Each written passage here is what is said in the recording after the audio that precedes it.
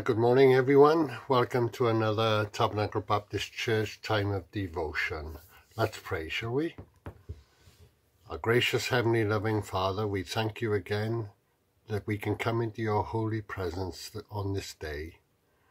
Lord, we come knowing that we are sinners, but if we have accepted Jesus as our personal Lord and Saviour, we are coming as saved sinners because Jesus died for our sins on the cross of Calvary and he conquered death. He rose from the grave.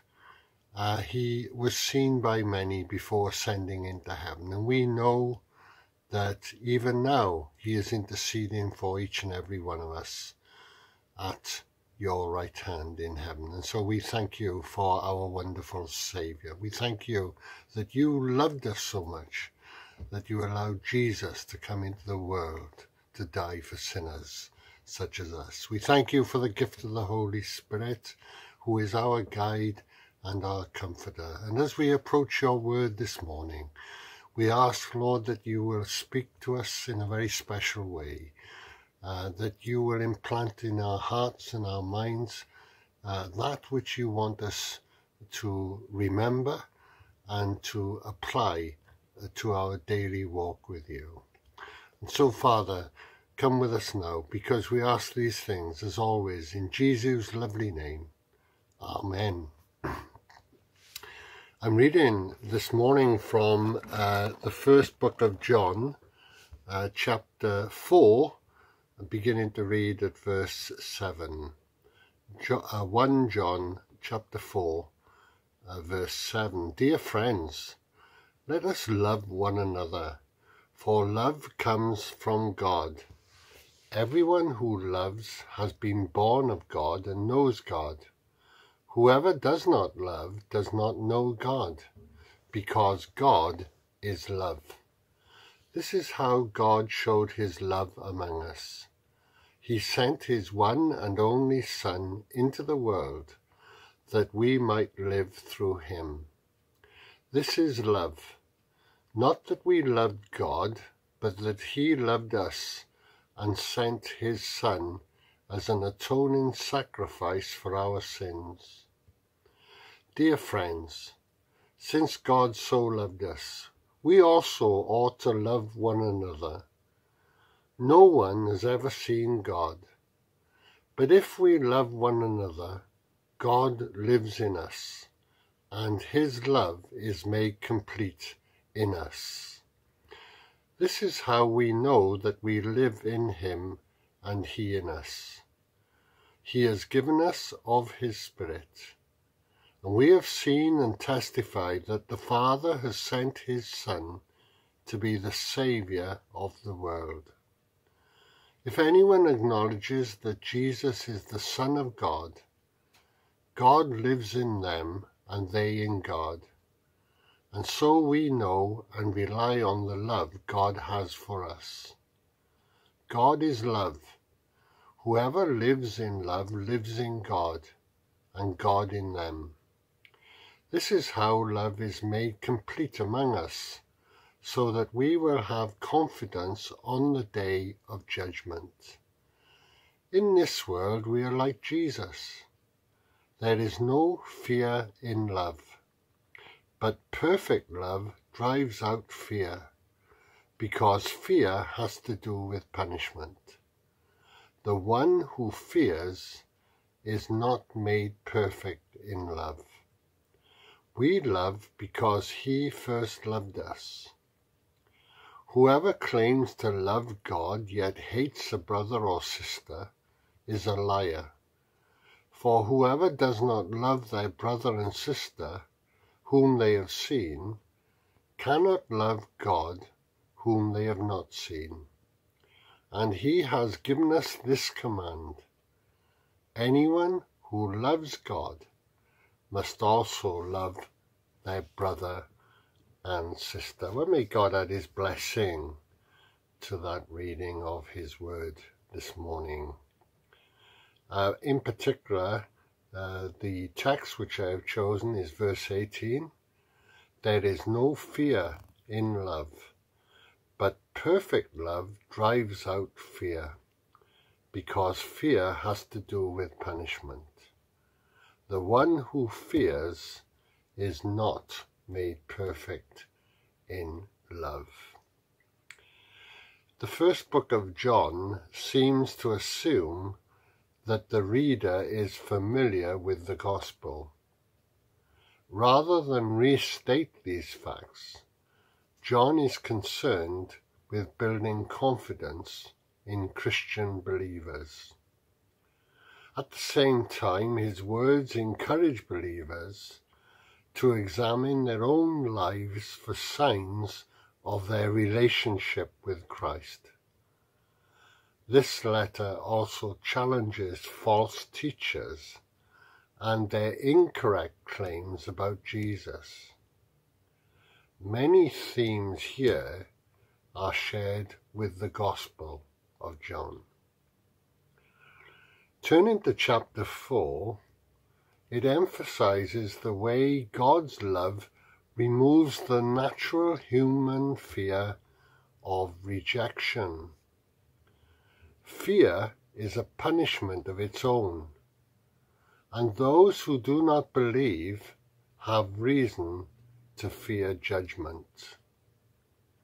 Believers, on the other hand, have confidence not only has Christ forgiven our sins, but he gives us God's love.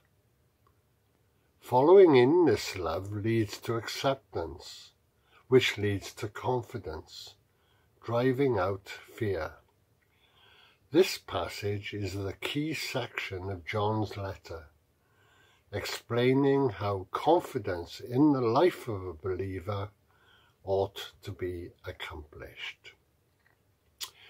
There are two major ideas contained in chapter 4. The first is that believers ought to test the spirits to see whether they are from God. The second theme is that God both loves us and God is love, leading believers to love one another. The first book of John, chapter 4, begins with the command to test spiritual claims, since not all teachers are true to the faith. Christians are never instructed to believe just because. In fact, we are often warned to carefully consider before we trust any particular message. Acts chapter 17 verse 11 tells us this. Now the Berean Jews were of more noble character than those in Thessalonica, for they received the message with great eagerness and examined the scriptures every day to see if what Paul said was true. John was concerned that false prophets and false teachers or teachings would deceive his uh, readers or hearers. Uh, John uh, chapter 4 verse 2 gives the test for spirits which actually come from God.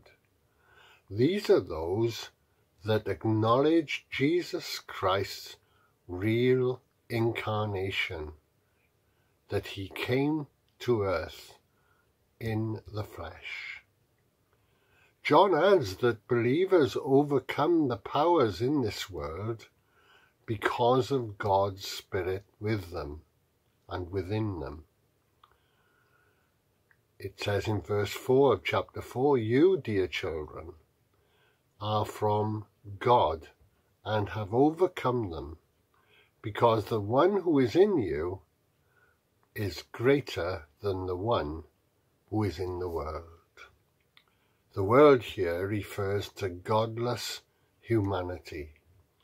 A worldly attitude listens to unbelievers and ungodly spirits and ignores God. The second major section returns to the idea that God is love. John teaches that biblical love is a sign of being born of God and knowing God. He states emphatically that believers are to show their love for God by loving one another. We see that in verses 7 to 12. Love not only demonstrates God's presence in our lives, it serves as evidence to the rest of the world. Love is how the world is meant to see God, even though they cannot do so physically. And then verse uh, 13 right through to verse 21 can be summarized uh, by the final verse. Anyone who claims to love God must prove it by loving his brother. John's teaching repeatedly emphasizes the fact that a person cannot claim to love God yet hate others. As it is made clear in chapter 3, hate is always from a demonic source. Those who hate are not abiding in Christ. Believers are children of God and brothers and sisters of one another. As family, they are to love one another according to the commandment of God. And in verse 18, offers an important perspective on the relationship between love and fear, namely, that godly love and worldly dread are incompatible. God's perfect love drives out fear of being accepted by Him.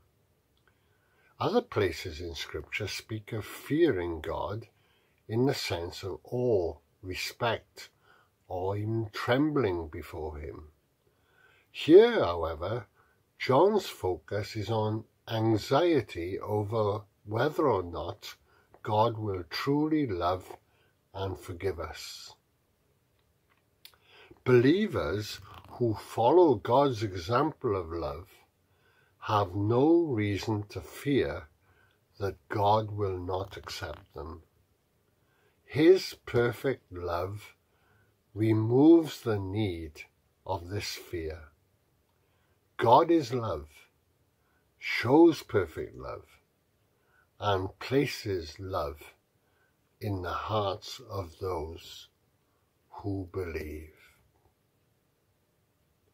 God loves you, and He loves me. How are you going to respond to that love today. Perhaps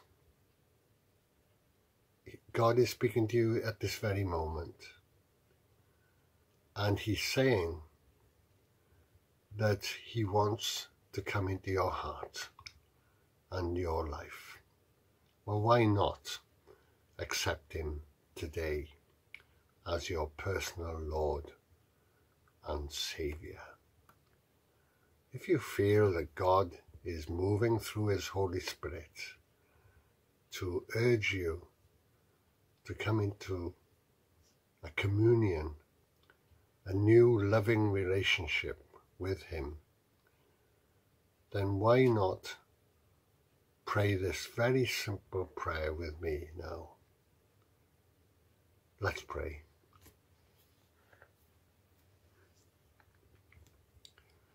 Dear Lord Jesus, I know that I'm a sinner and I ask for your forgiveness.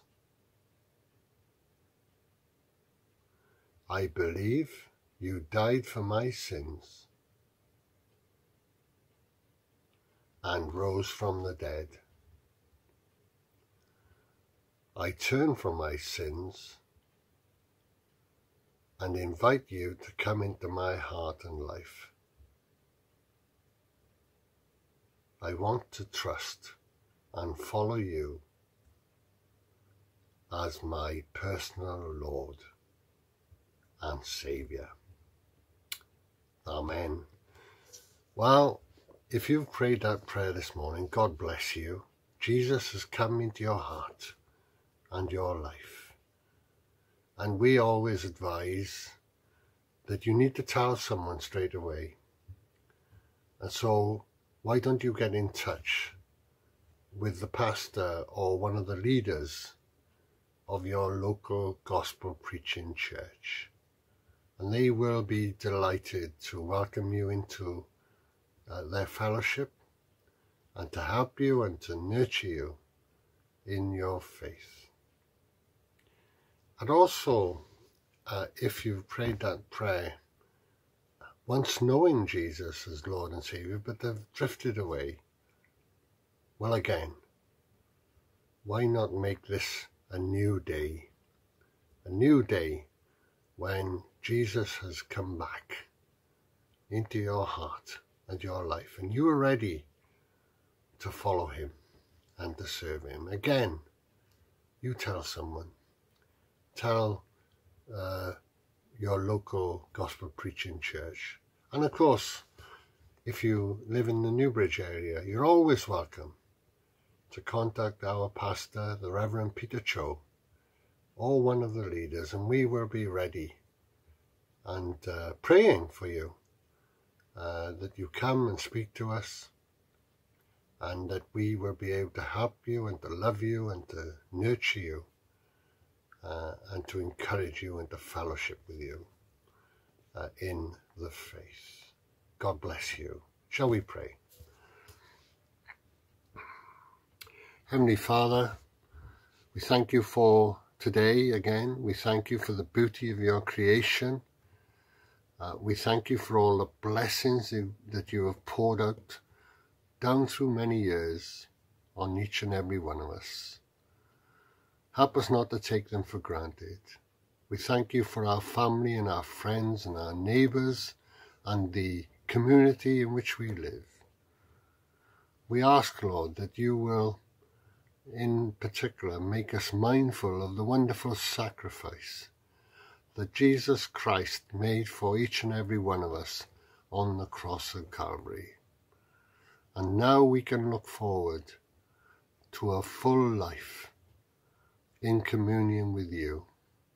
And at the end of this earthly life, we can also look forward to a great, the great joy of being with you in glory for eternity. Lord, thank you for your word. Thank you uh, for your church, which is the body of Christ on earth. And thank you for the freedom that we have to be able to worship you day by day. Lord, we do lift up this country to you. We pray for the United Kingdom and we particularly pray for this lovely land of Wales. And we ask, Lord, that you will give wisdom and understanding and compassion to our leaders. We pray for all who are working in the health service and in the social care sector at this time. We ask, Lord, that you will be um, with those who are struggling today, some who are going through the valley of the shadow of death, others who are very sick in hospital, and others who are fretting about loved ones who are not well. Lord, help them. And Lord, bless them and give them a sense of peace and assurance that you are with them today. And then finally, Father, we pray for ourselves that as we go about our daily business today, that we will be ever conscious of your presence with us, guiding us and helping us to do that which is right in your eyes. We ask all these things as always seeking the forgiveness of our many sins. In Jesus' lovely name. Amen.